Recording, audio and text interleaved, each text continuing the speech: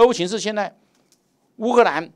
这个夏季大反攻，攻炸了这个我们讲的克里克里米亚的这些桥梁，这是我们可以看得出来啊，看得出来。你看这炸了窟窿，这是克里米亚大桥嘛？可以看到克里米亚大桥啊，它有东西向的是克赤大桥啊，有南北向的克里米亚大桥。所以你看哪一个？你看一瘫痪，因为这个瘫痪之后，就会造成俄罗斯对克里米亚对前线的部队的这些军火。战略物资，还有士兵后勤物资，还有这种坦克装甲的运输，就整个会受影响。换句话说，这个也是这乌克兰在切断俄罗斯的陆上交通线。那怎么样？重要桥梁，就让人家炸乱，你要去把这个桥修复。我们看到炸了炸了稀巴烂，炸了稀巴烂，这个要去修复蛮困难的。哦，没有几个礼拜修不下来。这个地方你看，它钢钢筋都裸露了，结构不是光只是表面，结构可能都有问问题。重型的这些车辆过去或坦克过去的时候，你就万一桥梁整个崩塌，不是造成更大的风险？所以我们可以看得出来，这个就是这个俄乌战争的状况是这个样子。好，那我们可以看这，我们放大这个图，我们可以看这个旁边还有这些火苗还在燃烧，大家可以看得出来。啊，这火火苗，火苗还在燃烧呢。这个地方，这个地方可能天然气油管，这个地方我们可以看得出来，因为有时候桥啊。它有水管跟油管、天然气管从那个桥旁边架设过去。你炸到桥之后，我我的油我的油气管也也炸到了，你总要去灭火。你看这个，大家可以看到熊熊烈火。所以乌克兰也不客气啊，让让这个让让这个桥墩，你看这整个桥墩都炸斜。这个还桥上的大洞还刚好还炸到正中间，你看到没？大家可以看得出来。所以我们可以看得出来，这个乌克兰也是能够炸那么精准，该正正中间呢，这个窟窿。而且这个，而且是桥墩的开始啊，炸这个地方，所以我们可以看得出来，这个乌克兰啊，乌克兰他在这一方面，西方国家当然提供提供这些情报给他了。西方国家我们知道，比利时现在就像竟然像退这些豹一坦克，我们知道德国跟波兰是支援乌克兰豹二坦克，但是现在是豹二坦克打的差不多了，现在用又又回到二次大战完毕刚出来的豹一坦克。那豹一坦克的话，现在有一个这个中中国的军火收藏家有五十辆，他买下来的就不要买买呀。现在现在结果这些匿名的这些军火商要要要把这五十辆统统买下来，然后五十辆里面这些豹一坦克豹一啊，然后去改装成三十六辆，因为有的拼拼凑凑啊，有的有的它的。这个零件不好的，把那个另外一个零件把它把它检整出来，这三十六辆送到那个乌克兰战场。所以乌克兰战场，乌克兰打仗打得非常的辛苦。那这个这个军火商也发了横财呀，他一万五千欧元买一辆，买了五十辆，啊，一万五千欧一辆，你五十辆的话乘起来的话就是七七七七十五万欧元。但是现在人家卖向他买的时候啊，一辆五十万，五十万欧，一辆五十万欧是这个样子。好，那我们可以知道目前的状况是，呃，目前的状况如此。那现在乌克兰战争，我们知道他们说什么夏季大反攻，我们可以看出来能够收复的情况，收复的其实并不好啊。他每次说西方国家一直说乌克兰很有战果，很有，但是我们看出来这个地方被之后占掉了，这个是亚速海，亚速海这个地方，这个粉红色区块都是俄罗斯这次所占的，这是顿内茨克、卢甘斯克啊，卢甘斯克跟。这个跟顿内茨克，这是这就是我们讲的顿巴斯地区，那这那乌克兰取向南取攻势，这个紫色的地方啊收复的，紫色的地方这个地方乌克兰控制及夺回的领土，这夺回的领土在这个地方，在南部的区块有这四个区块，一个区块，两个区块，三个区块，这个很小，还四个这小这小村庄四个区块，那在东部地区有三个区块，这边有个区块，这也有区块，这也有区块，在巴赫姆特，我们知道巴赫姆特。在三个月前，我特别讲到巴赫姆特的战争，啊，就是这样。那这样子，而且黑海知道，黑海我们上次有提过，以色列的这些这个这个商船，它通过要向这个，像像那个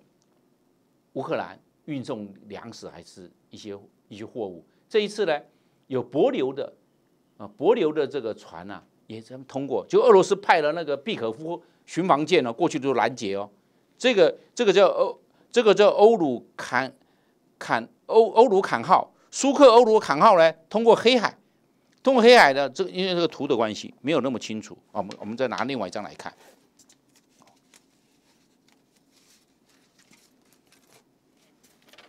这一张，这一张，这一张看起来就是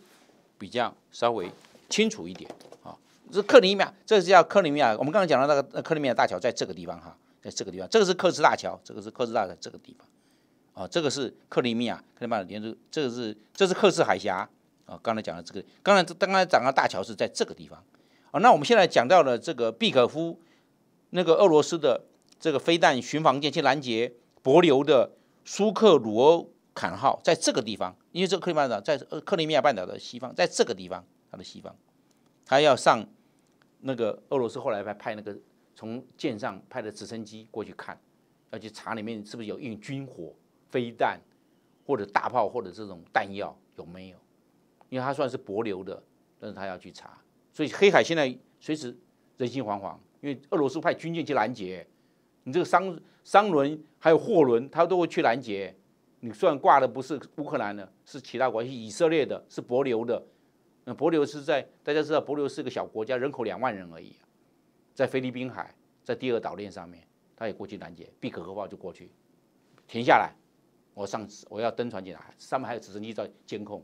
然后他人员登船下上去看，所以我们可以知道这个这个这个状况啊，这个不是那么的不是那么的和和平了。另外一个我们讲到的就是这个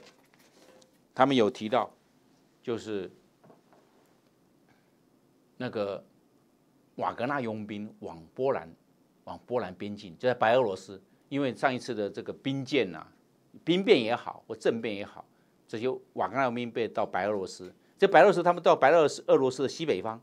西北方的地方呢，哎，波兰就有点紧张了。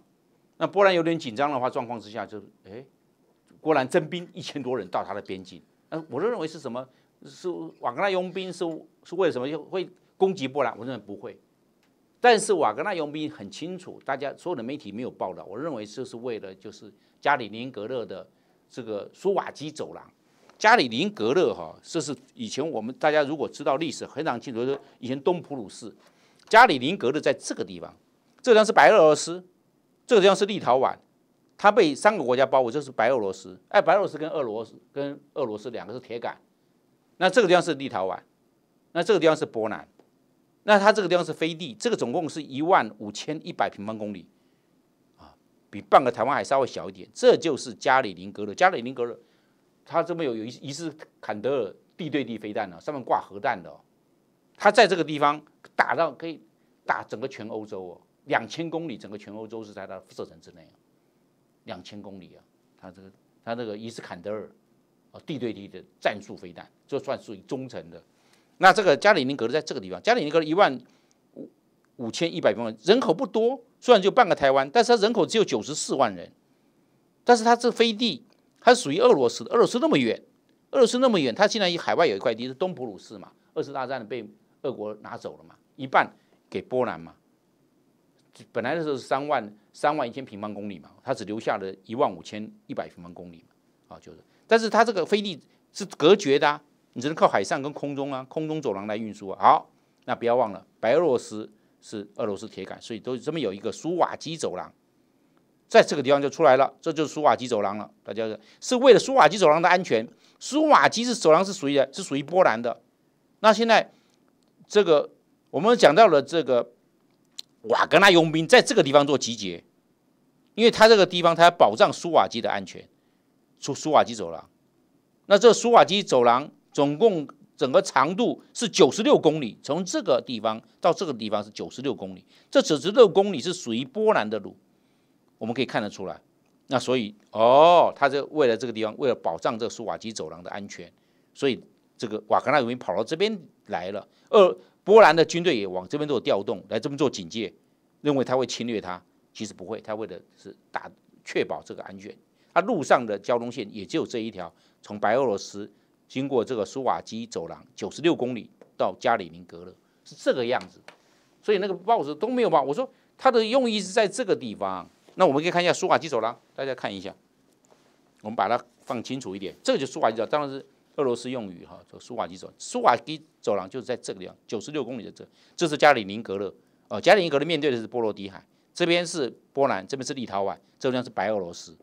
啊，俄罗斯在这个地方，因为比利时的关系是没有拉拉出来。就是为了这个地方。所以瓦格纳佣兵在这个地方布军布在这个地方是这个用意。哦，这个大家都没有去探讨。那我们再看看一下这一个，他这个所看到的加里宁格勒。啊，加里宁格勒，加里宁格勒面对的就是波罗的海，但是说俄军的波罗的海军队在那边做演习，就靠近加里宁格勒，就这样子。啊，在这个好像拿纬度来做区分。啊，这个地方是波兰，这个地方是白俄罗斯，这个地方是立立立陶宛啊，这个地方是波罗的海。是为了这个地方，苏瓦基走廊的关系，我这个把这个图跟大家讲一下。我最近试了一个东西，真的很有用啊，所以要分享给大家，那就是太阳星全效克菲尔益生菌。哦，吃了两三天，真的有明显的感觉，最主要就是睡眠的品质变好喽。那你知道这个睡得好呢，整个人工作就可以更加的专注，当然情绪也就变得更好了。因为太阳星全效克菲尔益生菌，我才认识了这个克菲尔益生菌。它是由多支菌种益生菌所组合而成的，不但是能够维护消化道机能的正常运作，而且呢还有多种有益健康的保健功能，非常的强大。有台大教授专门研究它，把它叫做神仙的礼物。而您知道吗？有上千篇国际研究证实，克菲尔益生菌不仅是帮助肠道健康，肠道菌透过肠脑轴影响全身的器官。所以维持肠道菌种的平衡，这是解锁身体健康、精神健康的钥匙。对于帮助睡眠、维持好情绪，真的是很有感。也因为这不是药，有季节敏感、代谢困扰、关心恶性细胞风险的好朋友们，选择太阳星全效克菲尔益生菌，做好日常的保养，身体，有负担。每日克菲尔，时刻美好，Good feel, feel good。请上快点购为健康下单，也记得输入我的推荐码 CTI 七九八，CTI 七九八有额外的折扣哦。